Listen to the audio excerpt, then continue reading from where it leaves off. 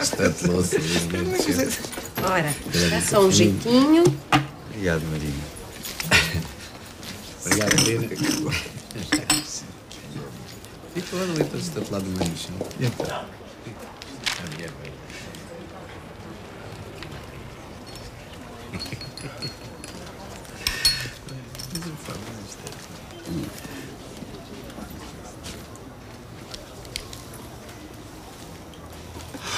Olha, olha, olha, que está aqui. Chiu. Não é todos os dias que se vê uma pessoa assim aqui por Beirais. É melhor ir falar com ela.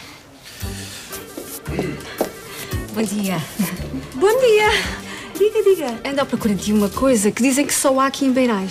Bom dia, Bom dia. Agostinho Puga.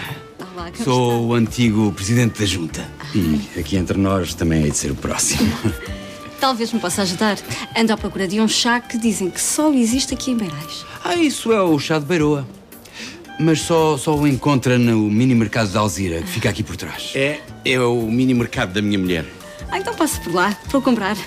Isso é que vai ser mais complicado. Mas porque o mini mercado está fechado. É que o chá é só para beber ali. É a minha mãe que o faz e ela não ensina a ninguém nem o deixa vender. E ainda dizem que as coisas no campo que são simples. Ah, Ela está lá agora. Falo com ela, pode ser que lhe abra uma exceção. Claro, para uma deputada tão importante. Então vou lá. Pode ser que tenha sorte. Eu acompanho, eu vou consigo.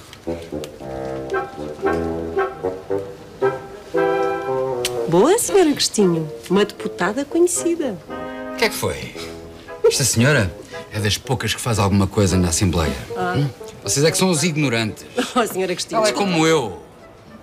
Está na alta roda da política. Mas vocês não conhecem esse mundo. Só querem saber de novelas. Nesse caso, a senhora Agostinho é que sabe.